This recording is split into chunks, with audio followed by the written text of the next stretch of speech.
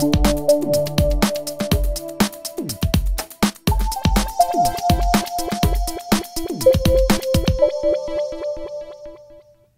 distribution list can save time and help you easily keep in touch with groups of people. By creating a distribution list, you can send an email message to a group by simply typing the name of the list. Think of it as a simple way to manage customer relationships. Suppose that you send an email newsletter to all of your customers at Contoso. All you have to do is create a distribution list called Contoso Customers that contains the email addresses of all your customers at that business. For this example, let's create a distribution list for your new customers by using names in the address book. On the File menu, point to New,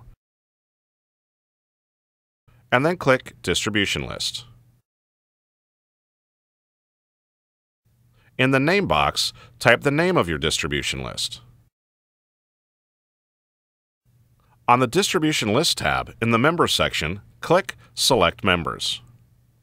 In the Address Book drop-down list, click the address book that contains the email addresses you want to include in your distribution list. In the search box, type a name that you want to include. When the name you're searching for appears in the list below, click it and then click Members.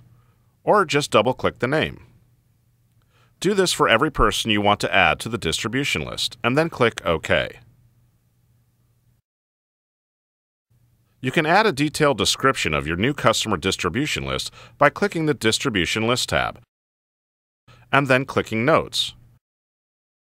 Then type in any notes you want about the distribution list. The distribution list will be saved in your Contacts folder under the name that you give it.